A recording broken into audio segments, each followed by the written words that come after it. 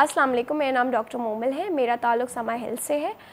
जो आज का टॉपिक हम डिस्कस करेंगे वो है वैक्सीन और उसकी शॉर्टेज आजकल ख़बरों में सुनने में आ रहा है कि वैक्सीन की बहुत शॉर्टेज हो गई है। गवर्नमेंट ने उसको डिले कर दिया है। कह कह रहे हैं कि डिले अब जो टाइम जो गिवन टाइम है उसके अंदर नहीं 42 डेज़ के बाद लगेगी।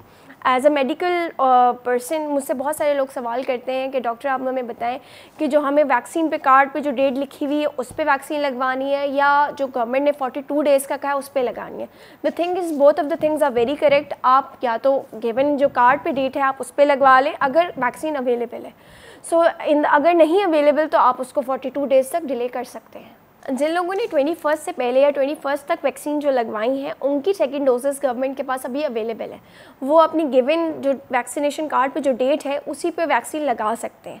और जिन्होंने उसके बाद लगवाई है ट्वेंटी फ़र्स्ट के बाद जो वैक्सीन पे फ़र्स्ट डोज जिन्होंने लगवाई है, वो उसको फोर्टी टू डेज़ तक डिले कर सकते हैं, क्योंकि गवर्नमेंट के पास अभी शॉर्टेज है। इन केस अगर अवेलेबल हो जाती है तो आपको मैसेज आ जाएगा और आप अपनी गिवन डेट पर जाके वो वैक्सीन लगवा लें। आपको मज़ीद अगर इन्फॉर्मेशन चाहिए तो आप मेरे आर्टिकल के ऊपर मैंने ये सारी डिटेल इन्फॉर्मेशन मैंशन की हुई है। Kindly look into it ये थी अब तक की डिटेल वैक्सीन की शॉर्टेज के बारे में। इसके बाद जो मैं आपको बता रही हूँ, वो इससे भी ज़्यादा इंपॉर्टेंट है कि आपने वैक्सीनेशन के बाद भी मास्क पहनना है छः फुट का फासला रखना है, अपना और अपने प्यारों का ख्याल रखना है। अल्लाह हाफ़